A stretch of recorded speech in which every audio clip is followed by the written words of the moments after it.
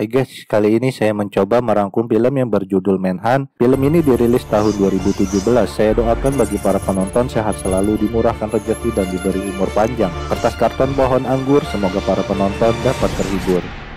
Film diawali di sebuah restoran malam hari, seorang pria sebagai pelanggan sedang berkunjung. You are Chinese? Ni, 常来. Dia adalah Dukyu, seorang pengacara warga negara Cina yang bekerja di sebuah perusahaan di Jepang. Ia dilayani oleh dua orang pelayan wanita yang sebenarnya adalah asasin, yaitu Rain dan Dawn.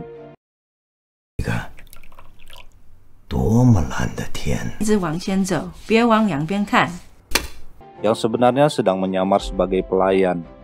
Datang sekelompok orang, mereka adalah target dari Rain dan Dawn. Dukyu keluar dari restoran untuk mengambil DVD koleksi lagu lamanya untuk diberikan kepada Rain, dan mereka berdua pun beraksi.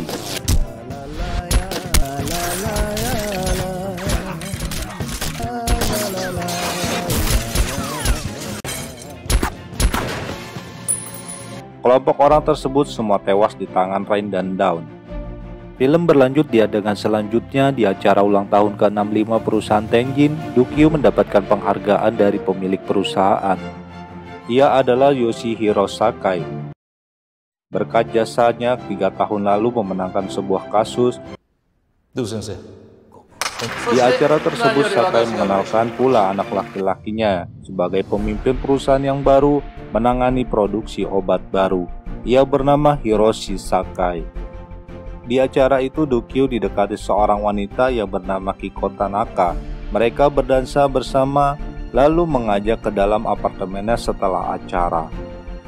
Dukyu mendekati seorang wanita lainnya berwarga negara Cina yang berada di Jepang juga. Ia bernama Yumi. Mereka berbincang mengenai pekerjaan Dukyu sehingga ia diberikan penghargaan oleh Sakai. 之前并不认识你，找我有什么事儿？官司， 多少知道他们也。我不过问。你没有怀疑过你打三年前酒井刚才说的那一宗？ Lalu mereka pulang bersama, Yumi mengantar Dukyu ke depan apartemen. Di pagi hari, Dukyu mendapati Kiko terbujur kaku di sampingnya dengan darah di hidung dan luka tusuk di dada. Dukyu memeriksanya dan Kiko sudah tidak bernapas. Ia pun menelepon polisi, tidak lama polisi datang dan melakukan olah TKP. Kiko sudah tidak bernyawa lagi. Kepolisian Osaka menginterogasi Dukyu dan mengamankan barang bukti. No, Victor. They do have a special relationship with Victor. I want a lawyer. Di luar sudah banyak wartawan, kepala polisi membawa Dukyo lewat pintu belakang. Lalu kepala polisi tersebut membuat rekayasa memukul anak buahnya dan menendang Dukyo. You killed someone, attacked police officer, and took his gun. It will be your last chance. melarikan diri ke stasiun kereta bawah tanah. Polisi mengejarnya dan ia berhasil lolos masuk ke dalam jalur kereta dan melompat ke dalam terowongan. Detektif Yamura dan asistennya Rika Hyakuta mengejarnya. Mereka menuju ke proyek terowongan kereta di arah berlawanan. Dukyu menyamar sebagai pekerja proyek, ia terjatuh ke dalam coran. Rika datang membantu. Yamura mengenalinya dan langsung menodongkan pistolnya. Dukyu dengan cepat menyandra Rika dengan ancaman paku tembak di kepala Rika.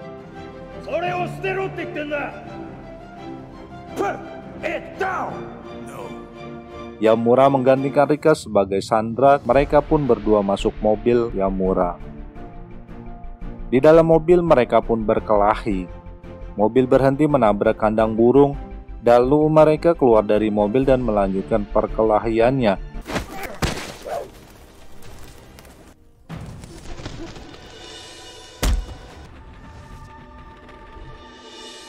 Yang akhirnya Dukyu dapat merebut pistol milik Yamura dan pergi mengendarai mobil. 一体何を考えてんだ指紋や髪の毛は決定的証拠にな係長私をかばって人質になったんですなんだと 百田 Malam hari Dukyu dikejar dua orang polisi, ia masuk ke dalam orang yang sedang berpesta dan bertemu dengan kakek Sakaguchi. Ia dilindungi olehnya dan teman-temannya. Keesokan harinya, Yamura dan asistennya Rika mengecek TKP pembunuhan, kamar apartemen Kiko. Ia menganalisa dan memperagakan adegan demi adegan pembunuhan di dalam kamar tersebut. 中になるとデスク近くの絨毯にのことを眺め 犯人の帰りを待つ凶器はネクタイだと思われるだが Ternyata pembunuh adalah bertangan kidal, sedangkan Dukyu bukanlah bertangan kidal. Di camp perkampungan datang sebuah mobil van mereka merekrut 10 orang setiap dua hari sekali dari camp perkampungan tersebut untuk dipekerjakan di sebuah penelitian pabrik obat. Anehnya dari mereka tidak ada satupun yang kembali lagi. Polisi datang ke camp tersebut, kakek Sakaguchi dan teman-temannya melindungi Dukyu. Dukyu pun dapat pergi. Di tempat lainnya, Rain dan Dawn memiliki misi untuk membunuh seseorang yaitu Dukyu sebagai targetnya. Dukyu mengadakan pertemuan dengan seseorang utusan dari Sakai di restoran. 社我推出你目前的求见目前也包含不人道的新药。 Rain menjadi penembak jitu untuk membunuh Dukyu, tetapi Rain teringat kejadian malam di restoran waktu itu sehingga Rain tidak fokus, malah menembak utusan dari Sakai. Daun mengambil alih tembakan, ia pun menembaki ke arah Dukyu.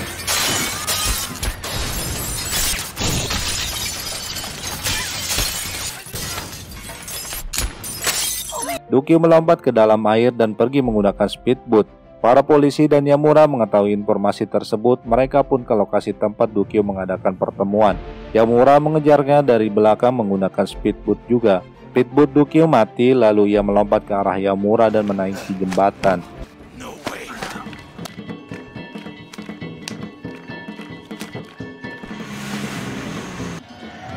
Bertemu dengan Yumi dan berlari di tengah kerumunan, lalu menghilang di tengah kepulan asap.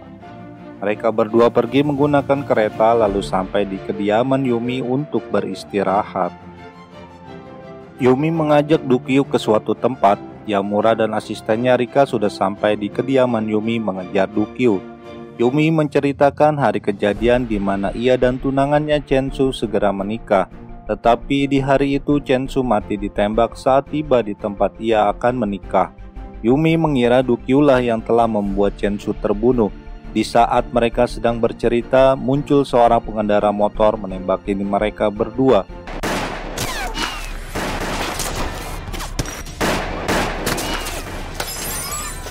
Di saat bersamaan, Yamura datang dengan mengendarai mobil, lalu menabrak pemotor tersebut.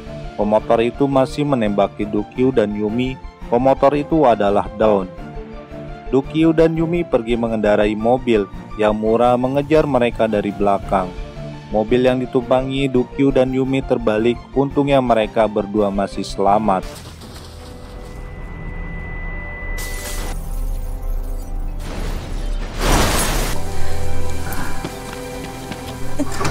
Yamura datang membantu mereka keluar dari mobil. Datang pemotor lainnya langsung menembaki mereka. Mereka bertiga lari ke dalam hutan. Di dalam hutan, Yumi menjadi saksi alibi untuk kasus pembunuhan yang Dukyu alami.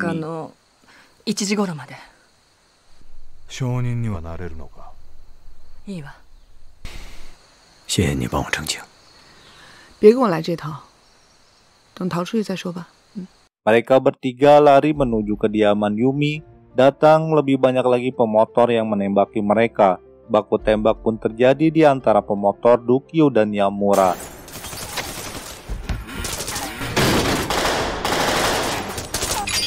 Rain dan Dawn adalah pemimpin para pemotor tersebut. Sampai akhirnya Dawn pun tertembak dan tewas. Yamura tertembak di lengan bagian kirinya. Polisi segera datang di tempat kejadian. Yamura dan Dukyu segera ke rumah sakit. Yamura dirawat di rumah sakit karena luka tembaknya yang serius.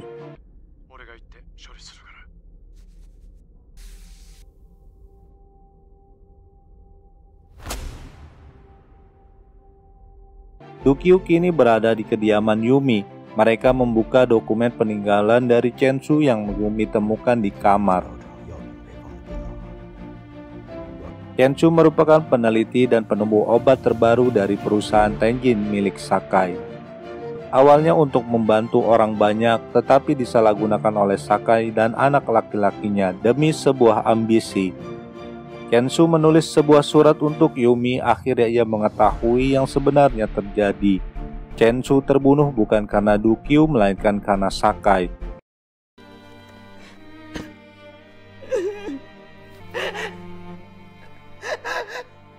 Keesokan harinya, Yumi tidak mendapati Dukyu di rumahnya. Ia menulis pesan bahwa Dukyu pergi ke perusahaan obat Tenjin. Dengan menyamar jadi pekerja, ia direkrut bersama orang lainnya dan dibawa di dalam mobil van menuju perusahaan Tenjin.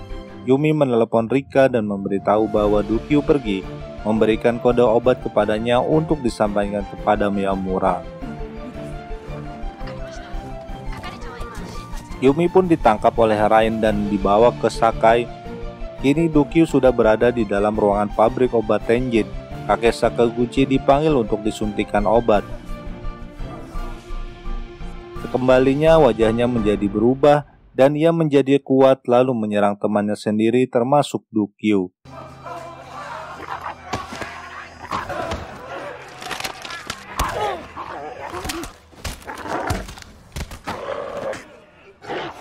Ia pun tewas setelah lehernya tertusuk besi oleh dirinya sendiri.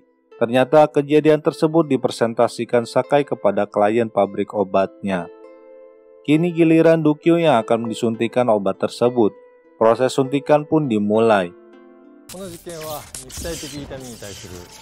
Yamura tiba di pabrik obat Tenjin, ia ditahan oleh anak buah Sakai dan Hiroshi.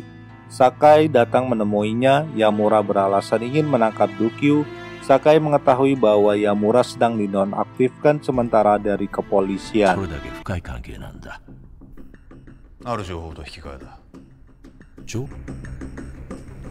Ia menukar kode permula asalkan ia dapat masuk oleh Sakai. Dan ia pun diizinkan masuk oleh Sakai. Dukyo menjadi kuat setelah disuntikan obat tersebut. Ia menghajar Yamura dan para anak buah Sakai. Yamura berusaha untuk menyadarkan Dukyu dan Dukyu akhirnya sadar mereka berdua menghajar anak buah Sakai.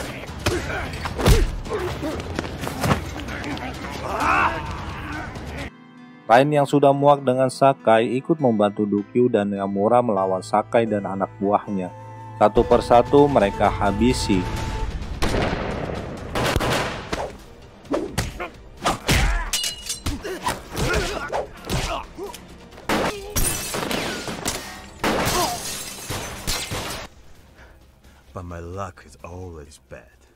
Hiroshi menyuntikkan obat ke dalam dirinya sendiri dan ia pun menjadi kuat, menghajar Dukyu dan Miyamura.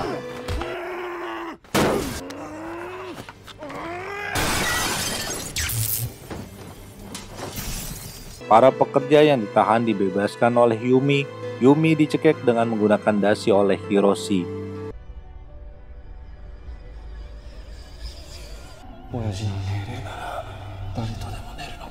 欲しいんだろ俺言ってみな Ternyata yang membunuh Kiko di kamar apartemen adalah Hiroshi. Dukyo menjadi tersangka karena di malam kejadian ia kebetulan memasuki kamar Kiko. Ia sial di malam itu. Hiroshi ditembak oleh Yamura. Rain ditembak oleh Sakai menghadang agar Dukyo tidak tertembak. Stay strong. Sakai pun bunuh diri dengan menembak dirinya sendiri.